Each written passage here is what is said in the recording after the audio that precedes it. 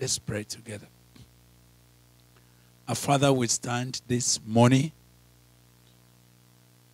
not on any other ground, but on that same Christ, the solid rock. We stand in your presence this morning on the ground of what you did at Calvary. We stand upon your own righteousness. We stand this morning upon your credit with the Father. We stand this morning upon the blood that was shed at Calvary, the blood that speaks better things than that of Abel. We stand this morning not on our own righteousness, not on what we can do or what we could not do. We stand on what you have done. We stand upon that which you finished when you cried, It is finished. This morning, we stand as a congregation under that same canopy of your glory and we ask, Speak with us. We ask, Open your heart unto us and open your word unto us. We have come not unto men, for the word of God says, Unto the Lord shall the gathering of his people be. We have gathered unto you this day. Please reach out to us in mercy. Reach out to us by your grace. Reach out to us with your compassion. Do for us this morning what we could not do for ourselves as we celebrate fathers today in various communities of the world. I will ask again that we will know you as the father of all fathers. The Bible says you are the father of all spirits. With you, there is no variableness, there's no turning, no shadow of turning. We ask this morning that we will know your love, we will know your glory, we will know your power, we will know your keeping care. Thank you, Father. Thank you, oh God, as your word come. Let it mix with faith in our hearts. Let it do us good. Let it prepare us for the glory land. Thank you, Father. In Jesus Christ's name, we have prayed. Amen. Amen. Please be seated. Thank you. Hallelujah.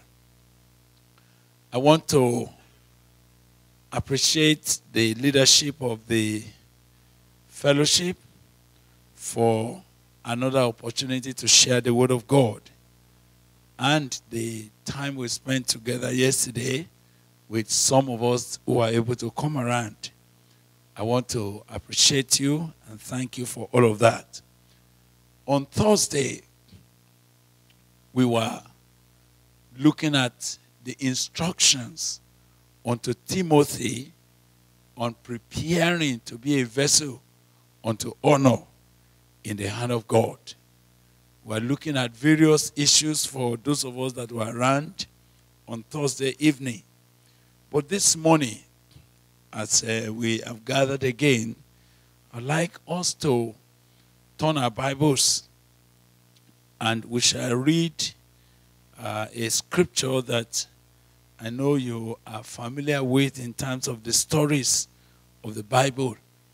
But we want to draw a few instructions uh, this morning for our own growth and for our walk with God. I want you to turn your Bibles very quickly to the book of Luke. Let's go to Luke. We're going to read chapter 18. Luke chapter 18. And I'd like us to read from verse 18, Luke 18, 18 to 30. Luke chapter 18, verse 18 to verse 30.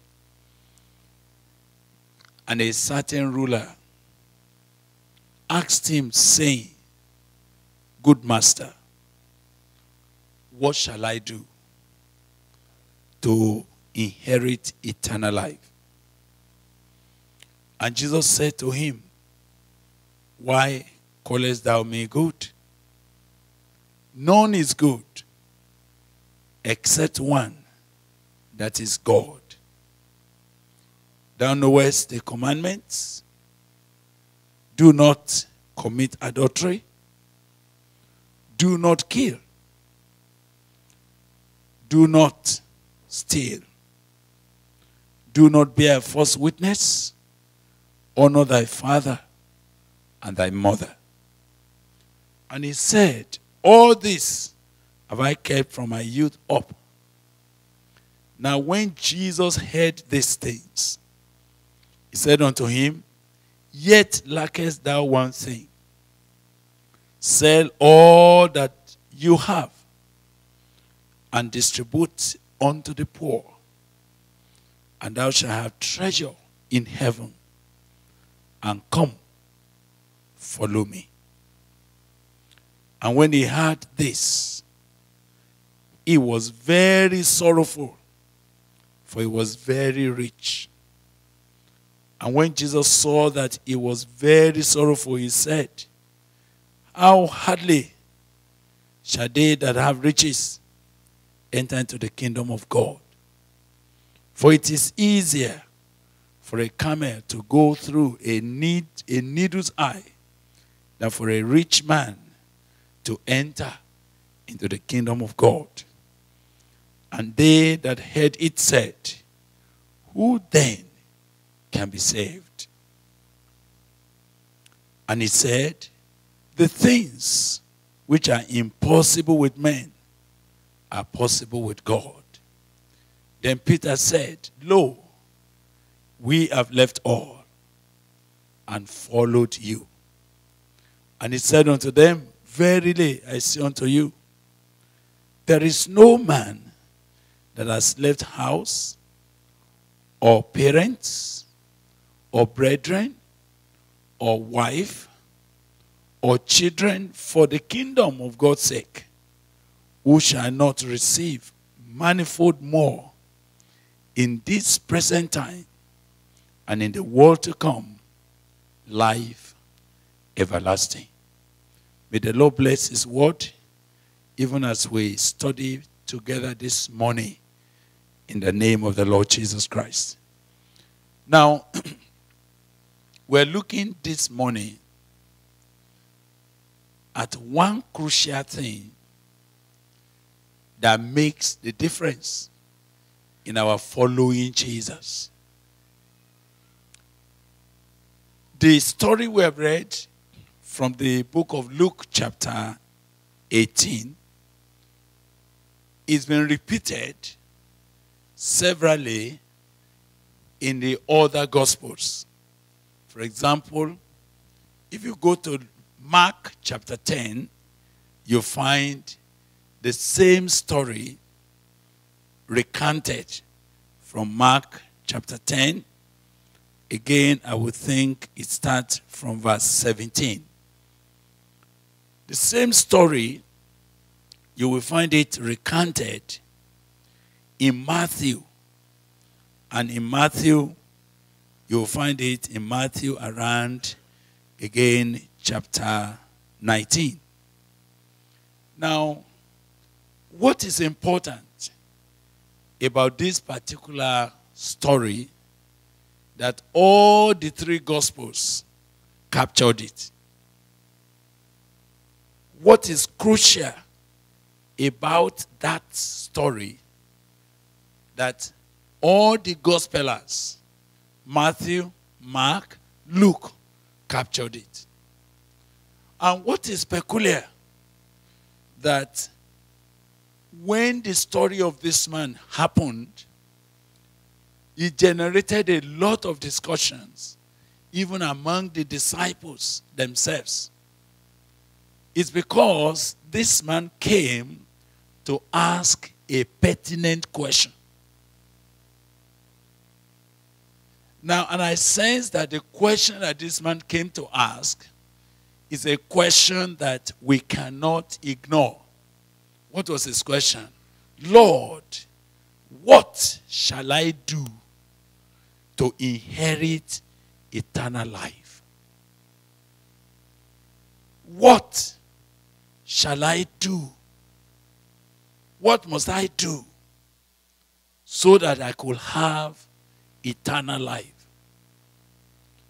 I guess that that question is a question in the heart of so many, many of us.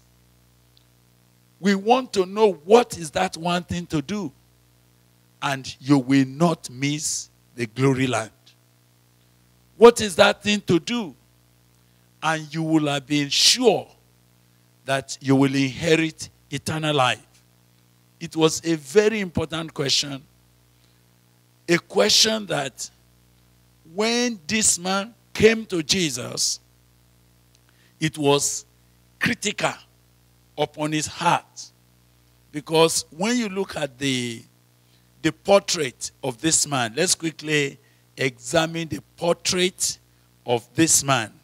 Because sometimes when you don't know who is asking a question, you may not appreciate their question.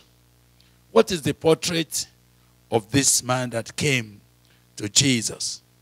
In the book of Luke, chapter 18, that we read, the Bible said, a certain ruler. He was a certain ruler. Which means, in terms of influence, in terms of position in the society, he was already a ruler. Maybe he may be the mayor of a city, or he may be a politician who is in government.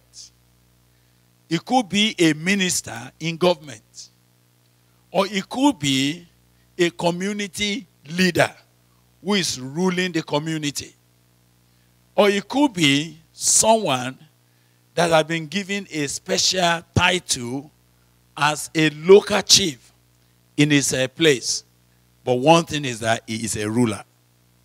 Now, one thing you know about rulers is that it is not normal for rulers to keep running. Rulers normally sit in their palace and they send word. People come to them. But something was worrying this man that he had to leave his throne, he had to leave his palace, and he came running because if you were to let somebody quickly check for me, Luke, I mean, Mark chapter 10, you will see that in Mark 10, verse 17, describe the man. He said, And when he was gone forth into the way, there came one running. Oh, when you see a ruler running, it means the matter must be pertinent. It means the matter must be serious in his heart. Otherwise, other rulers will sit back in their palace and they will say, uh, Call that man to come and see me. And you know, we have seen others who sat back in their homes and they said, uh, Please, can you go and tell Jesus that I want to see him? There are people like that. But here we found a man He's a ruler, quite all right, but something was biting him in his heart. What is the question biting him? What must I do to inherit eternal life? The question of eternal life became so much that despite all that he had, the position he had, something tells him that you could have all of this and not have eternal life, you need to do something about getting what will never perish. So he ran out. Now, what is the second thing I'd like to note about this man? As we read through the story, we found that he was a rich man. He was a rich man. In fact, the Bible said he was very rich. Now, can you imagine two things that we are noting about him, he was a ruler, he was a rich man. Many people are rich, but they are not in authority. But here was a man, he was rich, he had money. He had enough properties. He had a lot of possessions. That means he may he may have bought so many, many, many houses, many, many uh, equipments. Uh, if you went to his farm, you will have seen that now this is not a small farmer. He was a rich man. Now, as a rich man, he had all he would have needed on earth. He had all that he would have been needing to spend. He had money to spend. What again could make a rich man restless? It is because no matter how much you have in this world, my brother, wait, he does not answer the question of where you will spend eternity. If money could settle that question, I don't expect this man to be running. And I have met many, many people who have made a lot, a lot of money, a lot of riches as I travel about. And one thing that I've realized is that even though money look very, very useful, it never satisfies those who have it. Even though somebody could be rolling in millions of dollars, yet the question of eternal life is a question that money could not settle. It's a question that possession could not settle. It's a question that how much things you gather around yourself cannot give you a sufficient answer for. So I found that yes, this man, a ruler, he has a question. A rich man, yet riches couldn't solve the problem of eternal life for him. Now, what else will I want to note about this man? The Bible reported the Bible reported that he was a young man. Wow. For a man to be rich, to be a ruler, and to be young. What, what a wonderful thing. There are people that, yes, they may be rich, but they are already getting old to such a point that even though they have a lot things in their hands, they cannot necessarily use it again because they are old. They can only pass it on to their children who may squander it. But now here's a young man, young and rich. Young, he had life, he had strength. And you know, as a young person, he is excited. But unfortunately, young rich, in government, in power, yet the question, what will you do to have eternal life, is not yet set. This morning, as I'm looking at the portrait of this man, I don't know which one you fall into.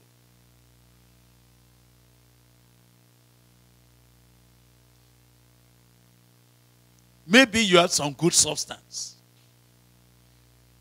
That when we check your bank account or we check the, the value of your own personal farm, you are not a mere man in terms of having resources. It is possible that you could be sitting back and say, Yes, I have that. That's all right. That's all right. How I wish that could settle the issue of eternal life. He couldn't. This man was young, which means he has energy, he has a future, he has strength, he has excitement, and you know, he can go anywhere. Yet a question has not left him. How and what must I do to inherit eternal life? He was already a local chief, a ruler. Yet, with all the position around him, the question of eternal life is yet a matter in his heart. But two things that I want to draw your attention to before we go ahead. I'm still looking at his portrait. What else is peculiar about this man's portrait? I've said he's a ruler, he's rich, he's young. Not many people combine this together young, rich, and in position of authority. But the next thing I saw with him, which again baffled me as an individual, was that when Jesus Christ was answering him, I noted that the Bible said he came, he came running. He came running. He was very, very concerned and very zealous. And he needed this answer very, very badly. What must I do to inherit eternal life? And so Jesus said, Yes. And can you imagine he came, he knelt down. It looked to me as if, yes, this man must be humble to have fallen on his knees before the Lord Jesus. Rulers don't kneel down. At least in Africa, where I come from. When you're a ruler, people bow down to you, you bow to nobody. When you're a ruler, people bend down before you, and you can only wave your hand to greet them. But now this man forgot his position, and he decided, let me just go. And he ran and he knelt down before the Lord Jesus and say, Master. So he was zealous, he was humble. Then, when he was going to address Jesus, do you know how he addressed him? Good master. He was courteous. He has good manner. Can't all these things that this brother have, can't it equate eternal life? That's where my own curiosity is coming. And that's where it is important for me to share this with you this morning, maybe before I pray with you. Here's a man that is courteous. Here's a man that is humble. Here's a man that is zealous. He came running. He's zealous. He's serious. Is that not sufficient for him to have eternal life? Then the next thing that came, Jesus again asked him, You know what the commandments say? And Jesus listed all the commandments for him. You will not commit adultery. You will not do this. You will not do that. Honor your father and your mother. Honor your parents. And sincerely speaking, this man said, All these things I have done what? I have kept since my youth. Since I was a young man, I have kept that. So again, you are meeting a man, a ruler, a rich man, a young man, a zealous man, a courteous man, a humble man, and then an obedient man who has kept all the law since his youth. He has honored his father and mother since he was a young man. He had kept away from immorality. You know what immorality does to the youth.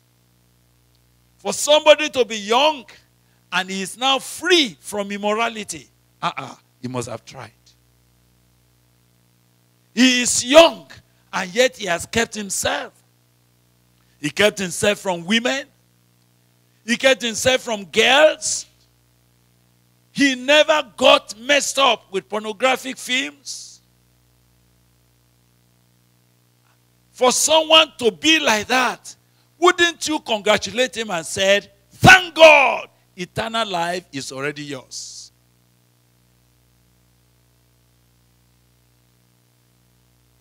This young man, if he was in the church, he has never missed church. He has always been very, very, very good boy. And he has made money. He made his money without any form of cheating. He had come into a position of leadership, not because he cheated. He was duly elected. He was honorable in the society. But on top of all this, Jesus was asking him, Have you not kept on? He said, I've done all of that. I've done all of that. What again do I lack yet? What must I do to inherit eternal life? Brothers and sisters, are you following my story? Are you? All right. Let's go on. Let's go on.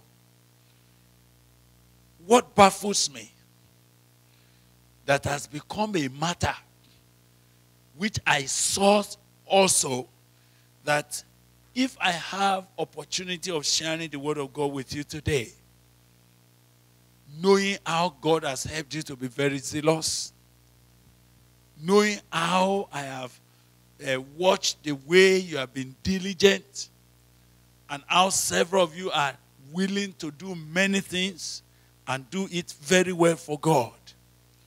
What is it that I must do to have, to inherit eternal life?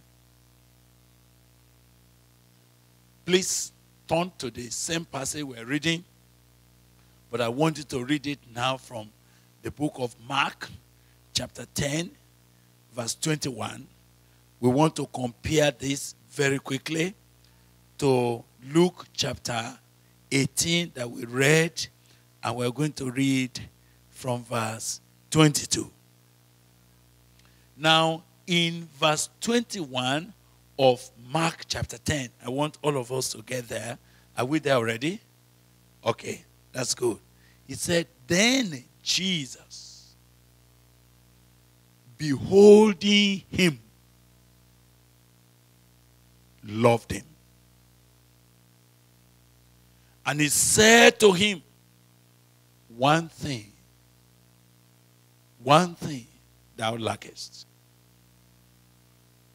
Go thy way, sell whatsoever thou hast, and give to the poor, and thou shalt have treasure in heaven.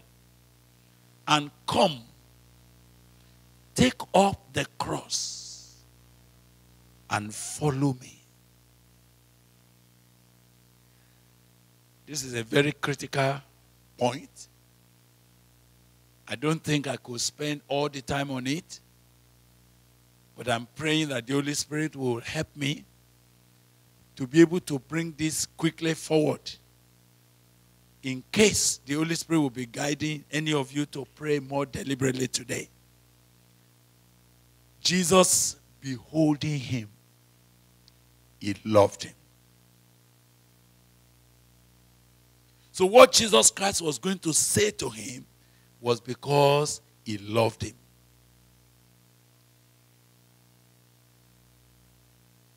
If Jesus didn't love him, go say, Well, it's all right. It's all right. You can go. You have tried. But I saw Jesus focusing on him with love. When God loves you, He tells you all you need to be the best you can be, not only here, but in eternity. When God loves a man, God does not short measure the truth from him. When God wants you to be the best you can be, He will never reduce what you needed to make you what He wants you to be. Even though it might pain you, it might look painful, yet because He loves you, He will tell you the truth. So Jesus, looking at him, beholding him, he loved him. He loved him.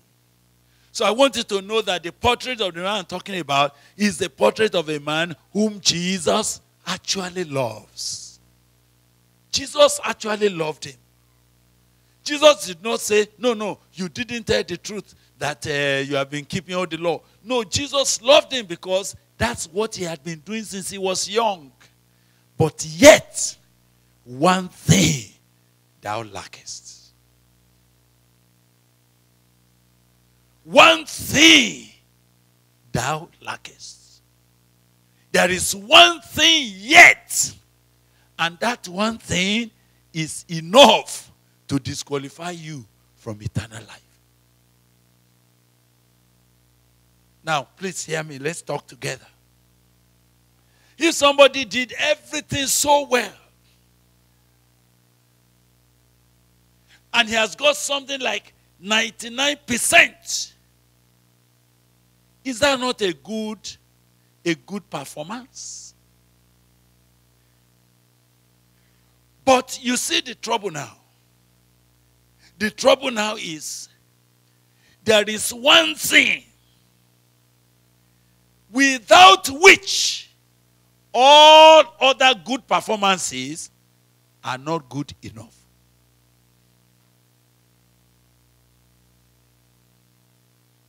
There is one thing that a man will lack, and it will become the lack of all his life. Whatever else he has, they were going to regard it as nothing because of one thing he does not have. As far as I can see, that one thing is equal and much more than all other things that he has gathered together. One thing. One thing thou lackest. And you know, I was thinking that if it is just one thing, out of so many things that this boy has got, that one thing should not have disqualified him from making it. But that one thing disqualified him. That one thing did not allow him to enter and to, to inherit eternal life. Just one thing. And this one thing, Jesus only says it to the man he loves. I don't know whether you are interested in knowing the one thing that you must have in order to inherit eternal life despite every other thing that you have been doing. And as a fellowship, and as brothers and sisters who are zealous, who are working hard, who are giving so much money to do the work of God, and who are very diligent to study, to do these things and that, and have young people who have kept themselves and they are not misbehaving at all. They are not just walking on the street. What would that one thing be? Without which all our efforts, all our labor, all our trying, all our activities will amount to nothing. What is the one thing? And I want you to see praying that you will see it and you will embrace it. Unfortunately for this brother, the one thing that he lacked became the lack of his life. It became the lack of all his achievements. It became the lack of all his activity in life. And it ended him in a place of sorrow. Let's read the Bible together. That verse 21, I'm in Mark. I'll get it from other versions now. Then Jesus, beholding him, loved him and said to him, One thing, not two things, not three, one thing thou lackest. And I imagine how this brother must have said, Yes. What is that one thing? What is it? Jesus simply, and he spoke in a simple language that he could understand. Go your way. Sell whatsoever you have and give to the poor, and thou shalt have treasure in heaven. And come, take up the cross and follow me. I just wish you will permit me to analyze that verse 21 very quickly so that in the short period of time that we have, I can leave you to consider it yourself and to pray personally. The first thing I saw, Jesus put this thing as one thing. It's just one thing. For me, it was not two things. You know, I thought that the way he was going to say, uh, uh, uh, the way he was going to say, go your way, sell whatsoever you have, give to the poor, and thou shalt have treasure in heaven, and come, take up the cross, and follow me. I would have thought that those are many things to do. Isn't it? You would have thought it is many things to do. Go your way. Sell. Give. Come. Take up your cross. Follow me. You would have thought that those are many things. But what baffled me is that Jesus said one thing. Do you know what has touched me about that? It means that it is just one thing. Not two things, not three things, not four things, not five things. Just one thing. And if you have not done all of this, you have not done the thing.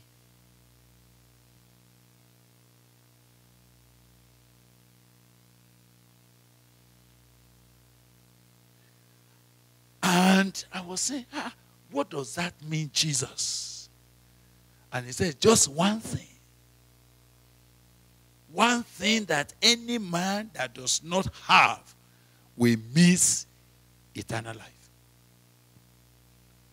One thing that anybody who does not meet that one thing, he is not going far. He may be in church, he may be in program, he may be keeping commandments. He may be running around. He may be zealous. He may be worshiping. He may be kneeling down. He may be falling down. He may be dancing. He may be a ruler. He may be rich. He may be young. But without one thing, he is going nowhere.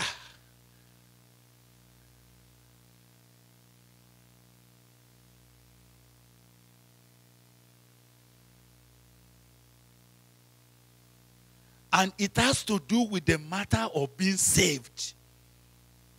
Because when they started discussing, the disciples said, Who then can be saved? They understood that this issue is not something that you can say, Well, me, I will do part of this, I will not do that one. It's just one thing. One thing. That any man who will inherit eternal life has to do.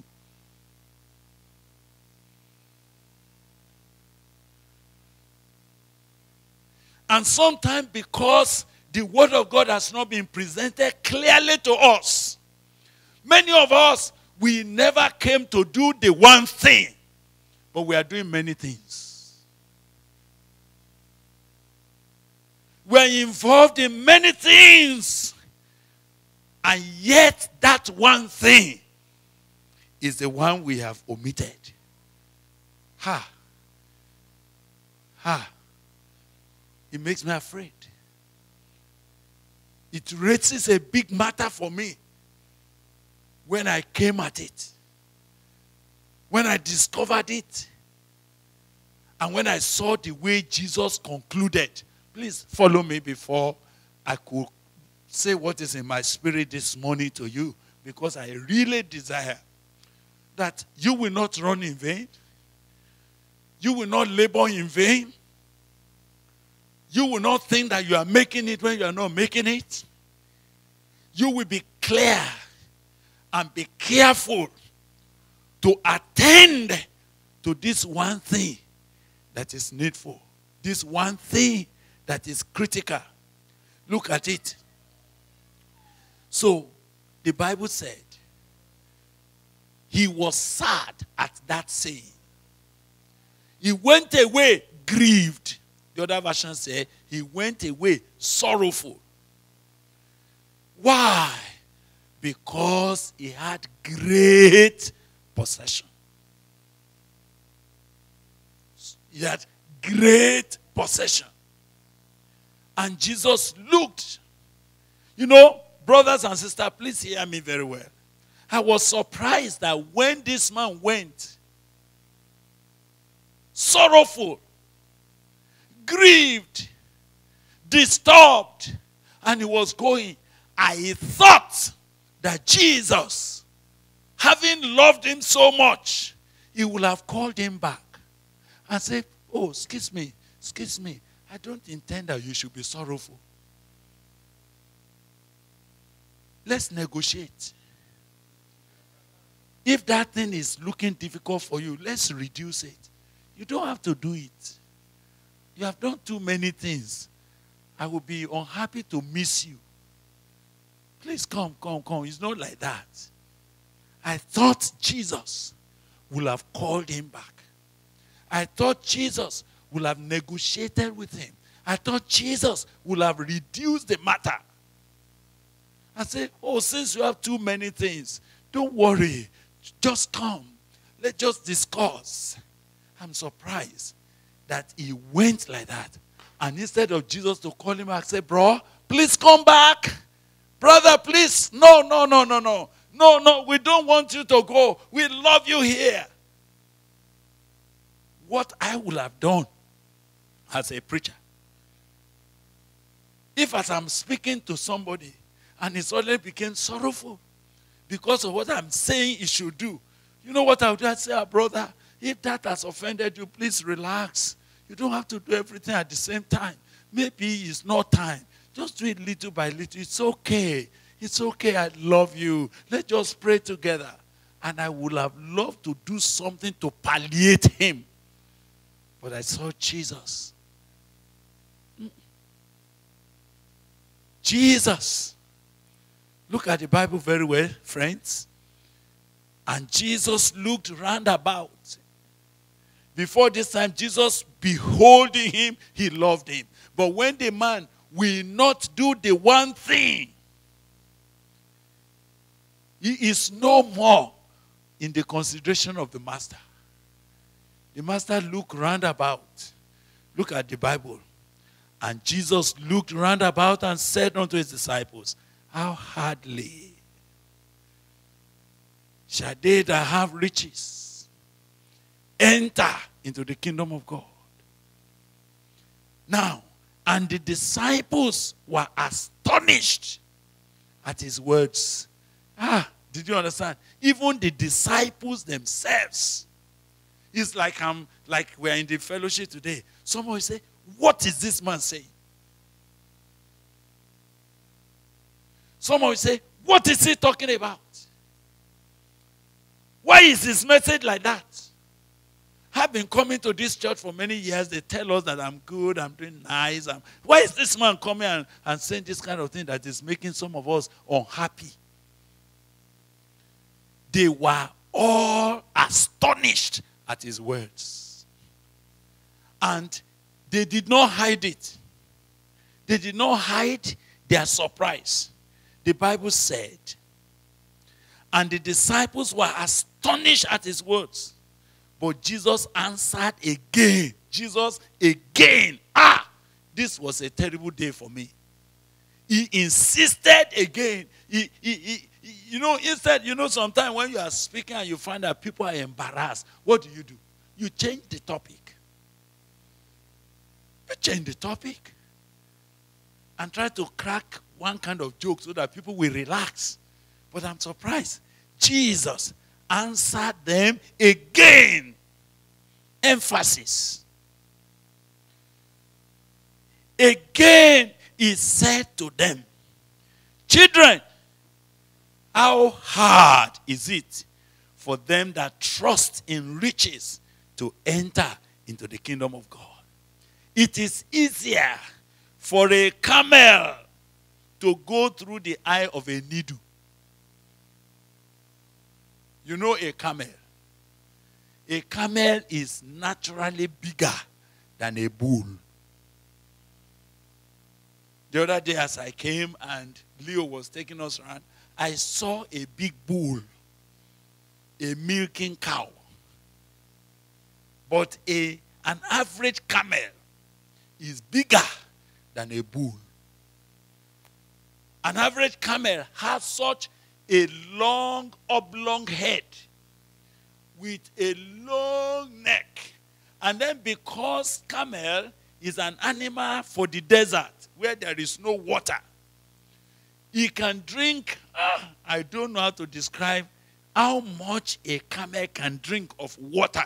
He can drink almost half a tank and he will store it because he could travel for days without finding water anywhere again. And you know what, what the camel does? He will just be taken from the reservoir inside. You know, that's how a camel does. So a camel, how will you force a camel to enter the eye of a needle?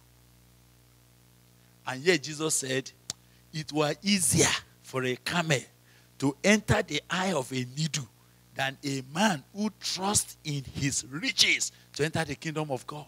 Ah, you know what he's saying? It is impossible.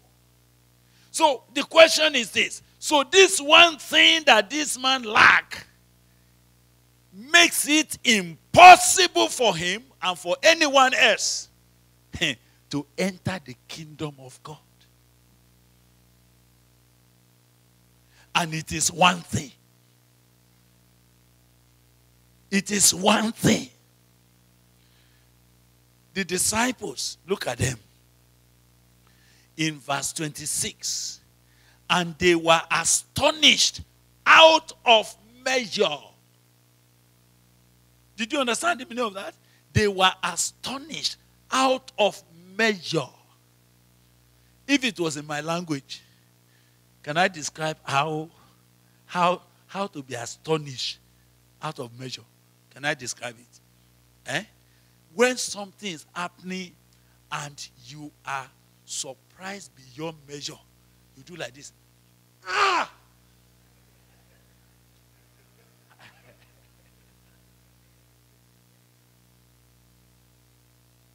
Adegbami, is that not what you do? Eh? You know, you are, you are so surprised and you are confused. And you are saying, hey? So you say, ah! And they couldn't close their mouth. Imagine all the disciples at the same time. All of them say, ah! What they're saying is that, eh? Is this like that? Is it as serious? Are you serious? They were asking Jesus. They were saying, Jesus, do you mean it? Hey! They were astonished beyond measure. You know sometimes because the gospel is not properly preached? Because sometimes we read Bible and people push aside the one thing that is critical. The day you stumble at it, you say, Hey, is it in the Bible? They were astonished out of measure. Their mouth opened and they couldn't close. And the question they all asked simultaneously among themselves. You know the question they were asking among themselves? Who then can be saved? Who then can be saved? Eh? Eh? This thing that Jesus is saying. Ah, if it's like that, who then can be saved? Eh? Mm. Ah. What? Hey. Mm. You see, all forms of gesticulation that expresses unsettled surprise in the heart was what they were saying. They were talking among them. They said like that. Ah, hey, hey, this kind of message. Eh? Ah, hey, that's what they were doing.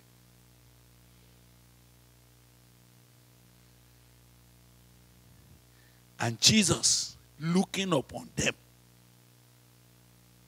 rather than reduce, rather than say, Gentlemen, relax. I'm just joking with the man. No. Look at Jesus. Look at Jesus. Are you seeing Jesus there? And Jesus looking upon them says, with men, with men, it is impossible, but not with God. Ah, do you mean it? He said, yes. That is what God we do. When they discover, all of you, please look at that. When they discover that Jesus was not changing,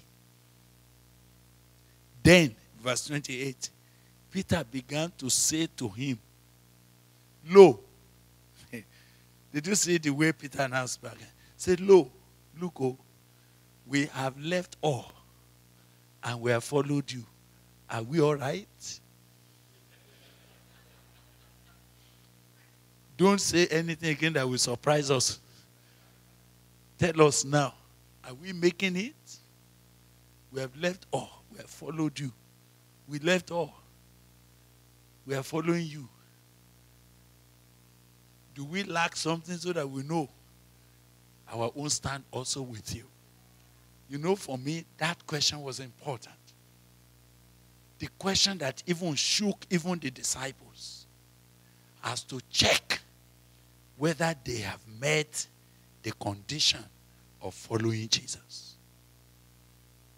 If what I'm saying to you this morning should shake you, I will not be, I will not apologize. Actually, I want you to be shaken a bit. Actually, I want you to ask this serious question Is it all right? Have I, am I really a disciple? So, what is that one thing? What is the one thing that Jesus was insisting that this man must have? What is it? And I saw that it's just one thing. Go, sell all you have, give to the poor. Come, follow me. I mean, take up your cross and follow me. Now, all of you, please follow me. The active word in that sentence. Let's look at what are the active words in that sentence to see whether it is complicated. What is the active word? Go. Does anybody know the meaning of go? What's the meaning of go, please? Go go. You see, there's no other way to interpret go other than go. Go is the first thing that any small child, kindergarten child, will know. Go. Sell. The word sell. Simple word. Give. Give come. take, follow. Is it difficult? Eh? Answer me, please. Go. Sell. Give. Come. Take. Follow. And all of this, Jesus called it how many things? One thing. One thing. So permit me now to spend the last of my opportunity of speaking to you on this meeting this morning. Let me spend that time to ask, what is that one thing? In other passages, when you go from other places, you will see Jesus restating that one thing to everybody that comes to him. Just one thing. But for this man, it looked so well elaborate that he said, Go, sell, give, come. I mean, yes, come back. Take your course. Follow me. He put all of that as one thing. But look at how Jesus put it with so many other people he had met. It's just the same thing. But let's hear him saying it again and again. Someone should follow us back to Luke 9. Who will read Luke 9 for me? Luke chapter 9. Luke 9, verse 23. Luke 9, 23. You will see it there again. Luke 9, 23 in one verse. Who reads that for me? Luke 9 23. He said to them all, Wait, wait, wait. To how many people did he speak? To all. He spoke to them all. No exception. No exception. Yes, sister? If any man will come after me, let him deny himself and take up his cross daily and follow me.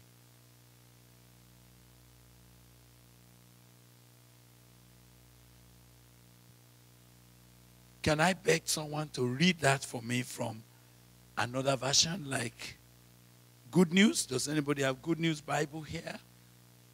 Good News? No good news. What version do we have here? What's your version of Bible? NIV? Can you read NIV?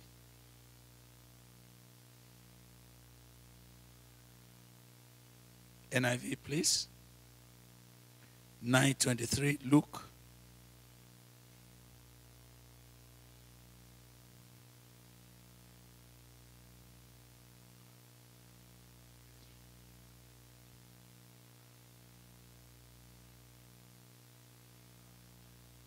Waiter.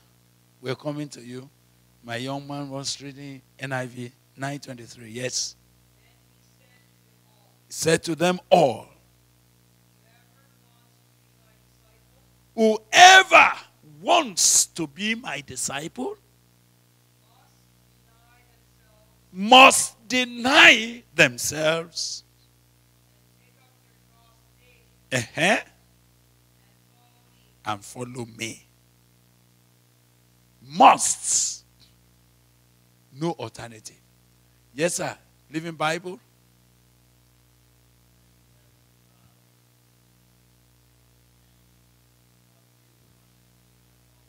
If any of you wants to be my follower, you must turn from your selfish ways. Take up your cross daily and follow me. No other way. No other way.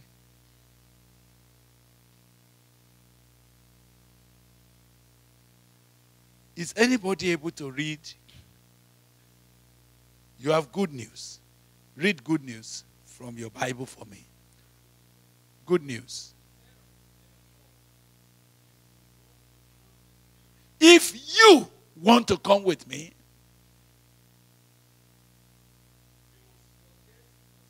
ah, ah, ah, ah, ah. you must forget yourself. Take up your cross daily and follow me. Hey, this is the issue now.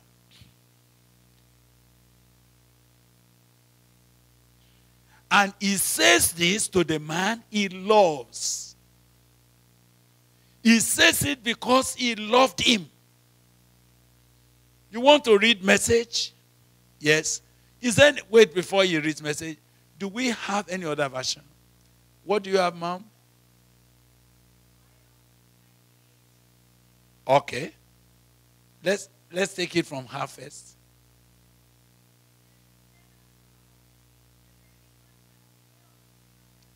Yes. Ah! Hey, my God. Are you hearing this kind of thing? Let him do what? Disown himself. Let him disown himself. Yes, ma'am. And take up his cross daily and follow me. Let him disown himself. Let him lose ownership of himself.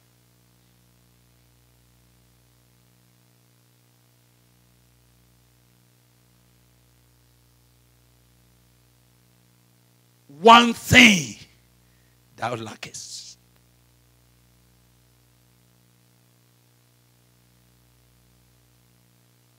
One thing that Jesus is not going to negotiate about.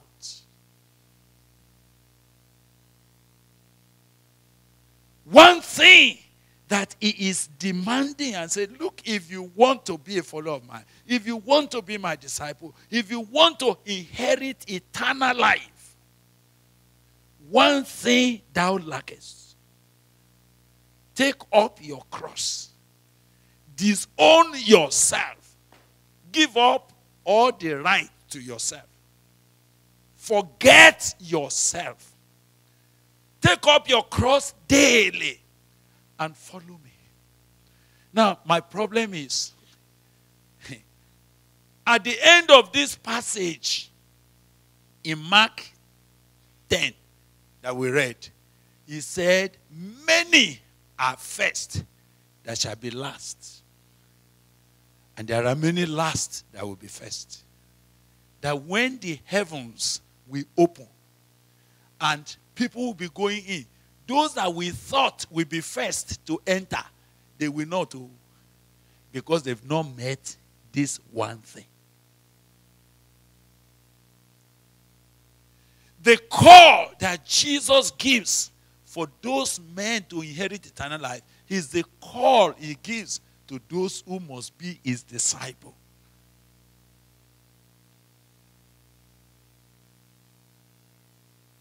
I'm going to ask you to join me in prayer on that.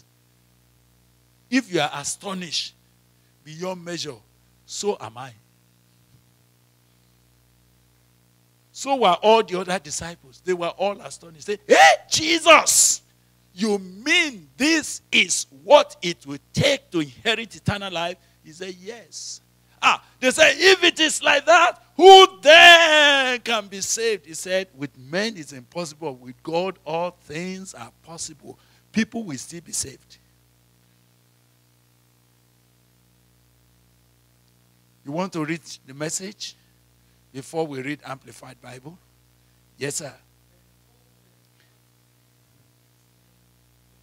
Yes, sir.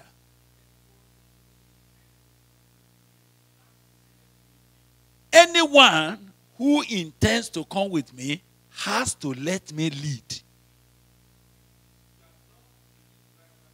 Hey, hey, hey, hey.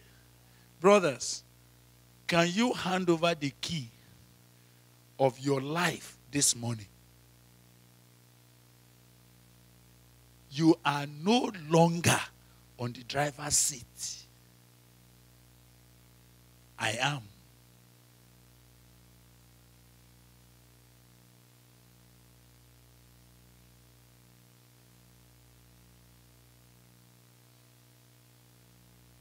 You have been driving your life all along. And you go wherever you like to go. You even spend your life the way you like. One thing thou lackest. One thing is the need today. Yes, sir.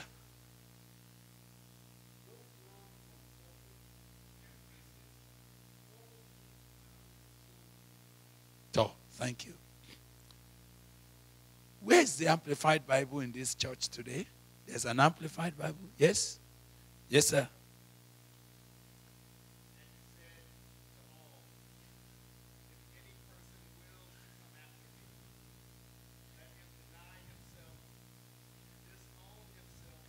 Eh? Forget himself. Lose sight of himself and his own interests. Let him refuse himself and give up himself. Yes, sir. And follow me. To me. And if need be, Ah. So, brothers and sisters, I'm sorry if you are offended.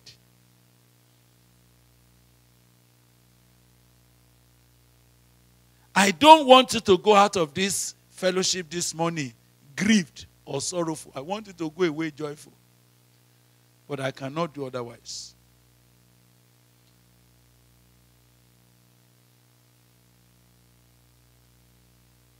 If we will not read the Word of God and face it the way He wants it to face it, we may be thinking that we are Johnny and jolly, jolly, jolly round, and when we get to the gate, they say, Oh, brother, please get back.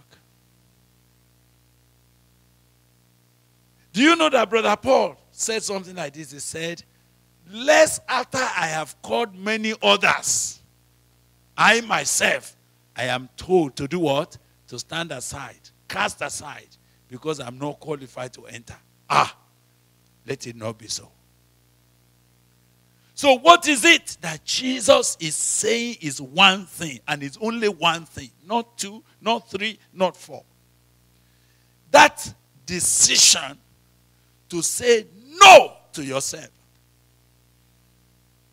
to submit the key of your self life and say, Now I'm no more the driver.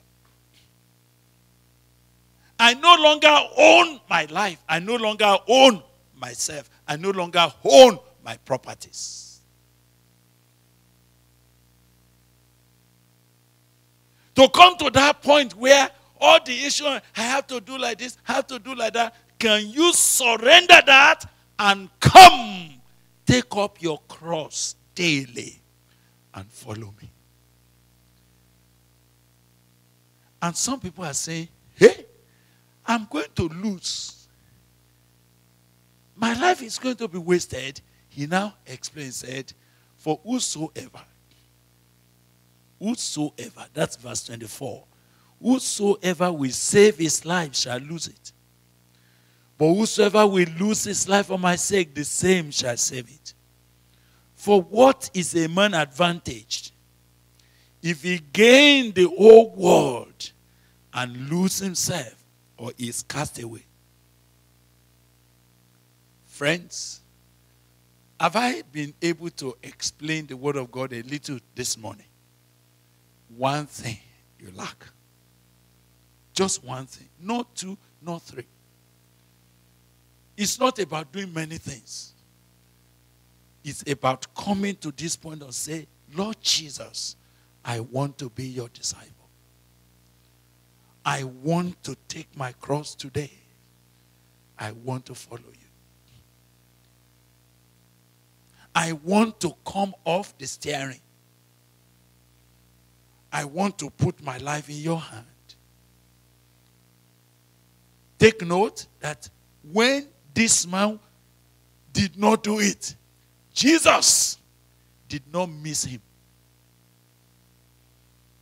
Even though he loved him, but because he cannot do the one thing, unfortunately, he went sorrowful. Jesus did not negotiate with him and say, Bro, let's, let's talk again. No.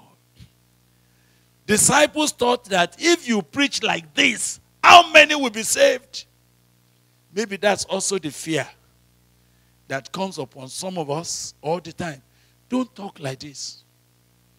Tell the brethren that it's good, that they should just come anyhow. Whenever they find time, they can follow him. We are all brethren. Please don't worry, it's okay.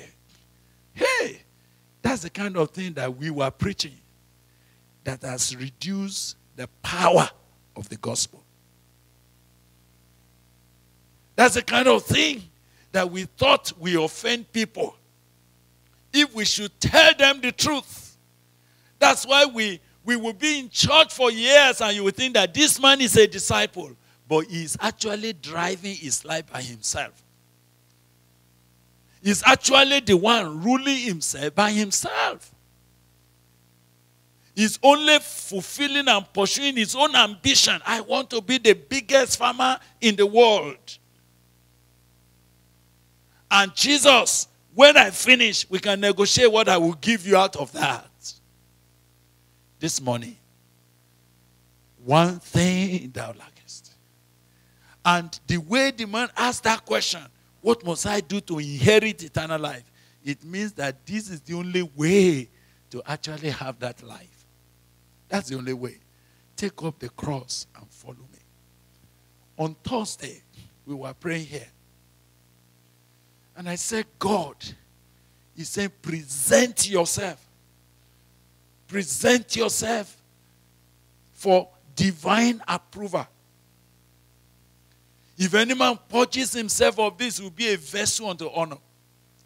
This morning, I'm hearing Jesus saying, that congregation that I love, go and tell them the one thing that is needful. I contemplated whether to bring this message to you since, since I'm just your visitor. But God is saying to me in my heart, this congregation are the people I really love. I love them. When I love a people, tell them what is in my heart for them.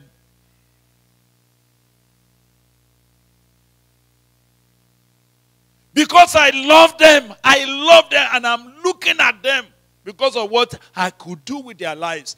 Tell them one thing.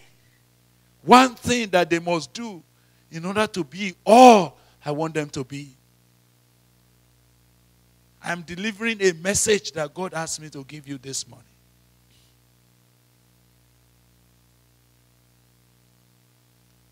I'm telling you what the Holy Ghost will have you here. Have you surrendered all to Jesus? Have you forgotten yourself? Have you disowned yourself? Have you brought away the key onto, of your life and say, Now, Lord, I'm no more the driver. Drive anywhere you like with my life. I know you will not waste it.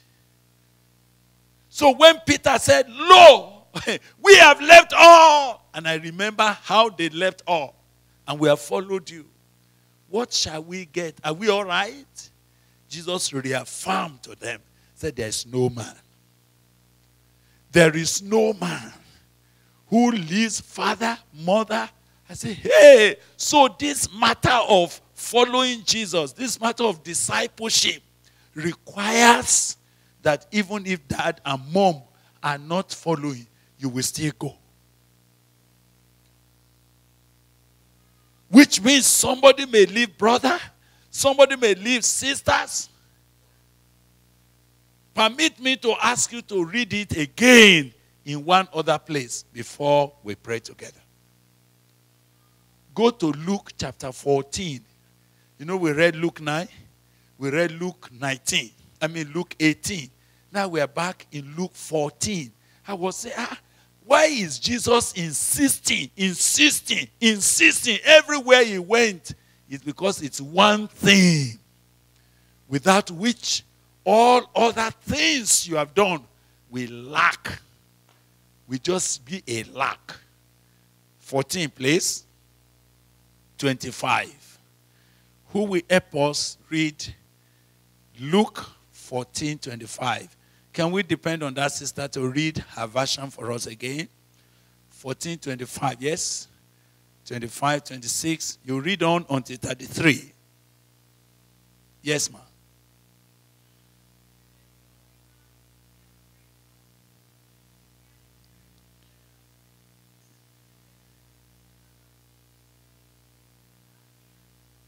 does not hate his own father and mother and wife and children and brothers and sisters and yet even his own life he is not able to be my disciple. He cannot he cannot be my disciple. Yes ma'am. Uh-huh. Yes. Is not able to be my disciple. Go ahead. Verse 33.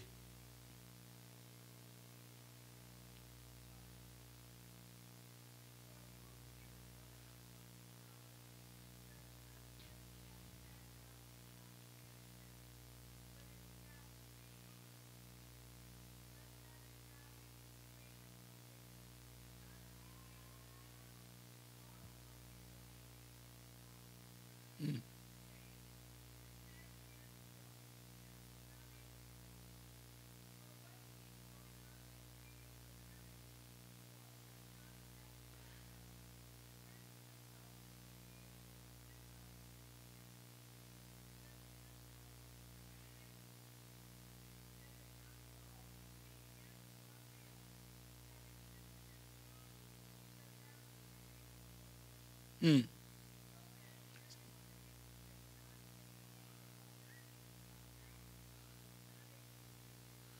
Oh, 33. My friend, can you read from NIV? Verse 33. 1433. In the same way,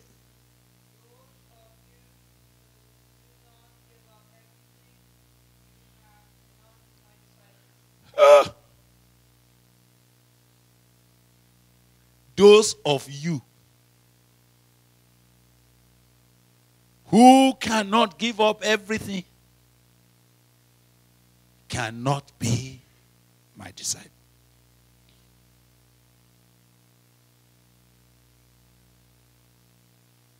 The question the man asked is the question that I think everybody is saying, What must I do to inherit eternal life?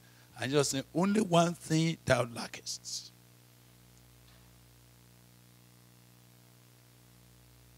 Let him deny himself. Let him take up his cross daily. And let him follow me. We have come to that point now where I'm going to just ask you to stand in prayer with me. Stand up, let's pray. And I'm going to ask you, because when he came to this point, that rich young ruler had to take a decision. Unfortunately, his decision was to go away. But Peter's decision was to drop all and follow. Paul's decision, he said, Everything that were gained to me, I can't them but loss that I may know him. When it comes to this point, a decision has to be made. A decision that determines where you stand as far as eternity is concerned has to be made. A decision as regards how far you can go with God has to be made. A decision that determines what will you do with Jesus has to be made. If you make a decision this morning and say, No, I don't want this, it's okay. What Jesus knows that, yes, he said, This one cannot be my disciple. He doesn't want to go with me. But if you say, Yes, Lord, others have taken this decision, I want to follow you. I want to give you the key to the steering of my life. I want to disown myself. I want to give up all that I am so that it can be you in my life. If he now decides and say, Yes, yes, that which you have laid down for me, go and follow this way, it will be his own decision. So we're going to stand and pray together. And I'm going to ask us to sing a song. I don't know our singers whether they will be able to remember I surrender all. All to Jesus, I surrender. Don't sing it because it's a religious song.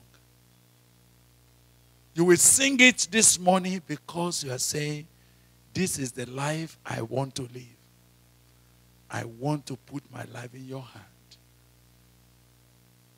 This may look contrary even to what your own heart wanted.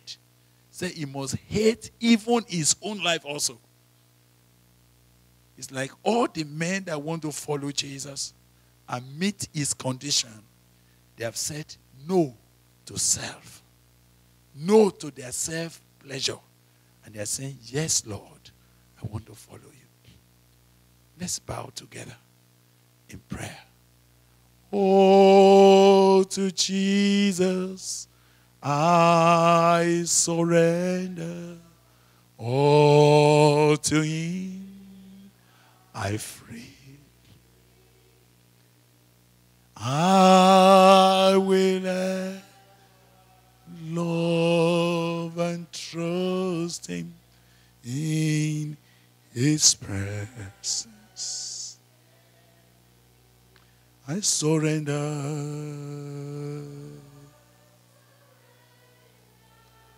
I surrender all.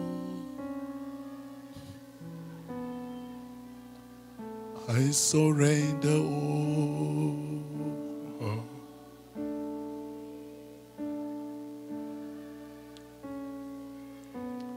I surrender all.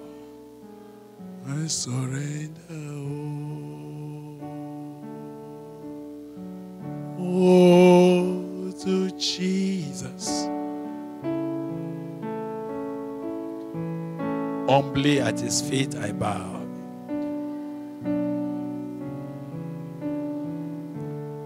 Worldly pleasures.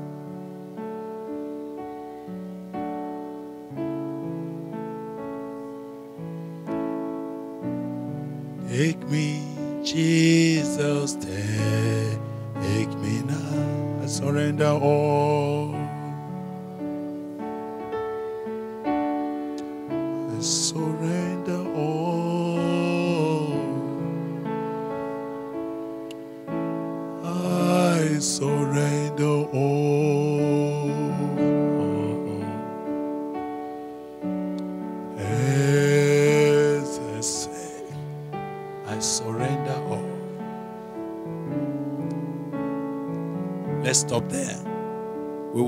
Will repeat that stanza two. Father, we want to ask you to help us this afternoon. We ask that your spirit will walk from this road to road. As we're hearing you say, Yes, I know you are you are zealous. You have done a lot from your youth. But one thing thou lackest. you are yet to give me the key to your life. And take up your cross and follow me. Lord, we want to respond to you. We don't want anybody to push us. We want to make a decision now. Holy Spirit, undertake for us in this meeting so that your glory that you are talking about the tower you say you want to build with our lives, the kingdom that you want to establish by our lives, it will be established and you will not need to look for condition of peace with your enemy. Holy Spirit, please walk in this meeting this morning. You love this congregation. Your heart is towards this congregation. There's something this church is meant to become in your hand. And you are saying, only as men become your disciples can they become that. Holy Spirit, have your way. Holy Spirit, please have your way. Now we take that stanza two. And as we're singing it, you are praying in your own heart. We sing it two times. Only that stanza two. All to Jesus, I surrender. At your feet, I humbly bow. And if this morning you are just saying, Oh, I have traveled so far, I can't go back sorrowful anymore. I want to give you my life. I want to lay myself down. And I want to carry this cross and follow you. I want you to be the driver now. No more in the driver's seat. I want to say bye bye to self life so that everything about me could be under your control. And whether you want me to be in the farm or you want me to be on the field or anywhere, it will be your choice from my life from this afternoon. I surrender all. As we're singing this song, the that stanza two, we sing it twice all those who are sensing that today they must make this decision, they must say yes to the Lord. Just come and humbly at His feet bow before the Lord. And I will be also praying along with you. Oh, to Jesus.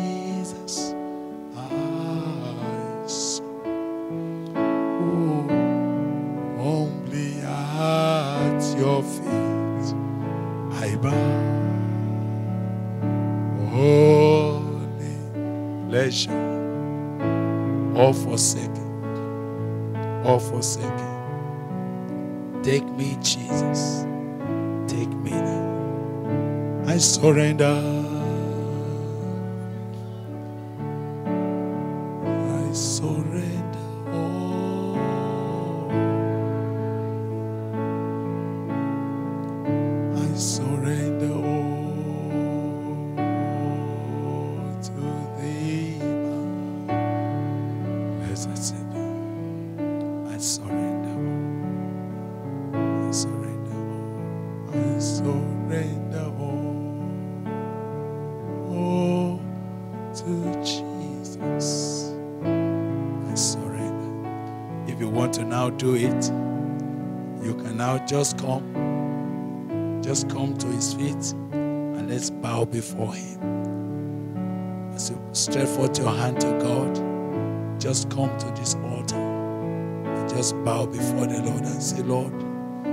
Take me, Jesus. Take me now. I surrender.